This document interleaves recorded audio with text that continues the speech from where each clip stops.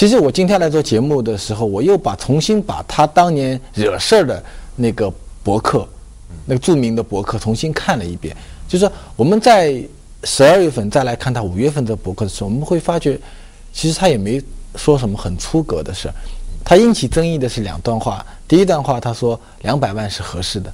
第二个呢，他讲到这个慈善是一个可持续的一件事情，所以他说不要成为企业的负担。但是你过到半年后，你再来看这些话，就是它是有它的理性的部分或者它的合理的部分在里面。但是我们现在要思考的是，为什么是在半年前这句话会让他差一点成为全民公敌？对，这个是是，我就我们来讲的话，是王石确实犯了一个错误。问题这个错误的本质是什么？我听说啊，王石后来在私下里跟一些朋友们对这件事情做反思，他认为自己把自己的三个社会角色搞混了。搞混了。第一个角色是企业家，换句话说，一个名声不太好的一个行业，房地产商。第二个呢是一个独立的社会评论家。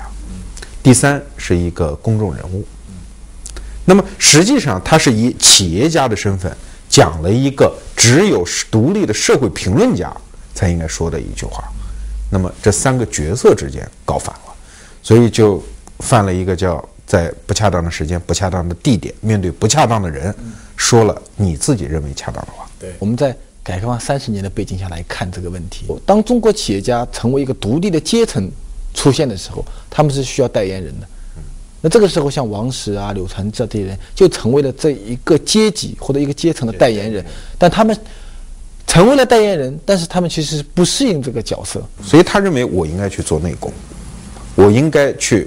老老实实的打造企业的核心能力，靠这个东西在市场换取利润。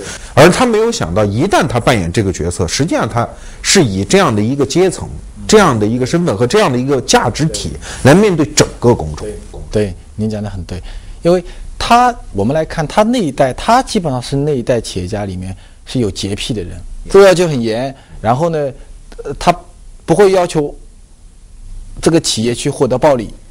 啊，它有这个，它有这个，比如利平均利率低于百分之整个行业的多少的一个比例，然后它不会去行贿，对，这是万科的标志。但他没有可能没有想到的是，他代表的那个阶层，在中国公众心目中是一个不干净的公众阶层，真的是一个被妖魔化的一个阶层，这是一个很大的一个落差。所以在汶川地震中，你看，第一个靶子会打到中国企业家阶层里面最具有洁癖感的那个人身上面。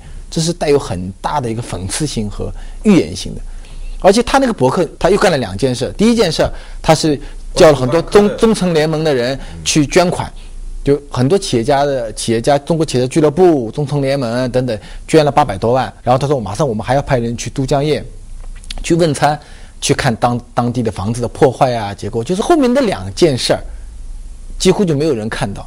一方面，其实也体现出了中国这个企业家阶层，这也是改革开放以后新诞生的一个阶层，它的中国公民社会秩序中的一种尴尬性。啊，我我我以前看托克维尔写过写论美国的民主，他曾经讲过一个说，他说在一个公民社会里面，他说一般的百姓公民，他不太会去指责统治者。或他不太敢去指责同志，他往往把很多的怒气发泄到谁身上呢？发泄到那些没有政治权利但拥有很多财富的人，啊，所以企业家阶层就属于这样：你没有政治权利，但你有很多的钱，然后你就很容易被比你没有钱的平民阶层成为攻击的一个对象。对，这个变成公民社会内部的一个很大的一个矛盾点。我记得法国有一个社会学家讲过一段话，就是说现在的社会不再像过去是一个金字塔型的结构。有人高高在上，有人在底端。现在的社会更像是一个马拉松比赛，行至半途的马拉松比赛，就成为一个一个阵列，互相之间是断的。如果王石这番话他不是在公共的博客，是在一个企业家俱乐部的内部，我相信大家都能够谅解理解，而不会激起那么大的。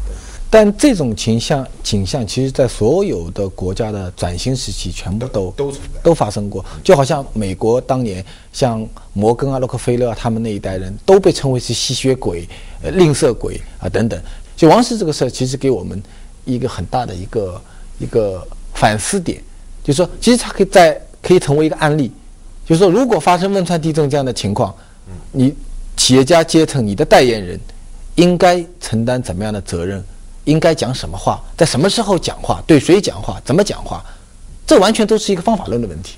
我认为是可以解决的。其实我现在有一个特别大的好奇，就是按照你的建议，禁言半年之后的王石再出来面对媒体是一副什么样子啊？让人期待。今天这个节目我们要说的第三个，其实我都觉得，如果把它定义为犯错误的人，都有一点点好像不公平，因为确实这不是他什么错误，但也确实引起了很多的风浪。他与可口可乐完成中国饮料界最大一笔收购交易，却为何招来口诛笔伐？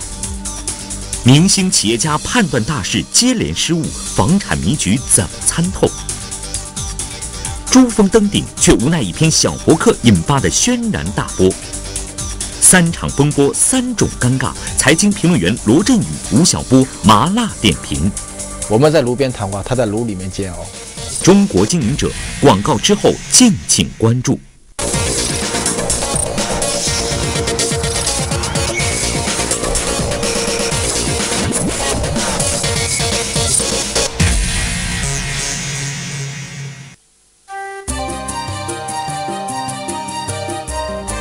九月三日，汇源集团宣布，可口可乐将以一百七十九点二亿港元收购汇源果汁全部，以发行股本。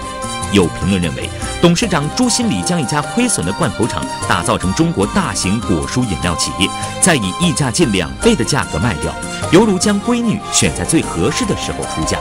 他本人也将坐收超过七十四亿港元的股份出让款。然而，这位来自沂蒙山革命老区的农民企业家，怎么也不会想到自己会被卷入舆论漩涡，戴上卖国的帽子。目前，这笔中国饮料界最大的外资收购交易已被送至商务部反垄断部门审批，结果牵动着各方的神经。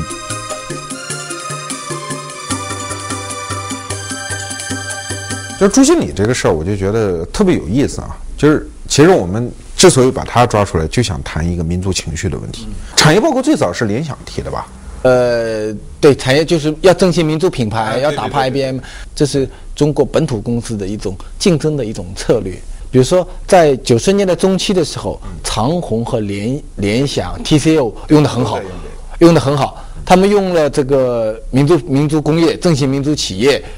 一下子把那么多跨日本跨国公司、日本的公司、美公司全部给打垮掉了啊！在家电行业形成了一个竞争的优势。但是我觉得今天我们这期节目谈的这三个人都很有意思，他都是本质都是按照自己的商业逻辑来说都是对的。其实做心理这个事儿，你看，你从商业逻辑来讲很简单，做公司就是为了卖掉。你是卖给可口可乐，还是上市卖？还是卖给公众，或者卖给你国内的谁？道理是一样的。公司就是为了卖的。以前杰克韦尔奇在吉当总裁的时候，当董事长的时候，他第一个去拜访了德鲁的德鲁克，他就问德鲁克，他说什么是好公司？德鲁克跟他讲说，你只要懂知道一条，当有人来买你的公司的时候是好公司。第二个要讨论问题，那你卖的是便宜了还是贵了？啊，那么我们来看，可口可乐是花了一百六十多亿人民币来买它的。这个会员的股份买之前，会员在香港呢上市的公开的价格是四块多钱，四块两毛钱左右。然后可口可乐是用十二块钱来买，那么就说是以你的市场价值的三倍来买你的公司，这个溢价给的非常好，已经非常高的溢价。哎，如果九月份开始谈这件事的话，朱经理未必能够谈得好那么好的价格啊。所以真的做商业游戏的逻辑的人，可能觉得哎，觉得朱经理。第一干了件挺漂亮的事儿，你把你辛辛苦苦做了一家公司，你原来是一个村里的企业，十几年以后你能够卖给全世界最大的一家饮料公司，他来看中你，而且是以你的市值的三倍来买你，我们应该很高兴，是一件很优秀的一个商业案例。哎，但是一旦到这个市场上以后，被解释为卖国，卖国，而且大家平时喝可口可乐的时候也没觉得它是个什么东西，就是个碳酸饮料嘛。但是一旦到资本市场上，它就变成。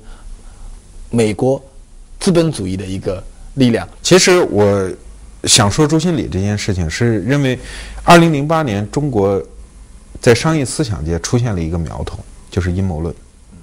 呃，当然这是从一本类武侠小说开始的，就是货币战争，货币战争都非常好看，但是匪夷所思，而且有大量的阴谋论的这样的一个思路。好莱坞逻辑啊，好莱坞逻辑，它是一个把纷繁复杂、复杂到无法把握的一个商业世界，自由市场经济解。